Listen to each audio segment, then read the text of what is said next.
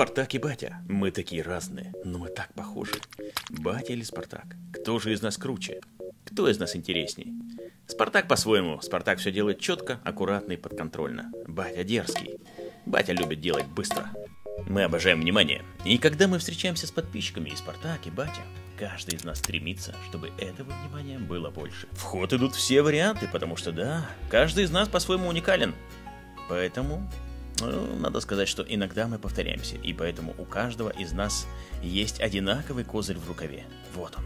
И это противостояние у нас продолжается каждый день. Потому что нет ничего лучше, чем немного досадить этому усатому товарищу. Смотришь вокруг, блин, как же круто, пусть стоит. Да, тут Спартак полностью прав.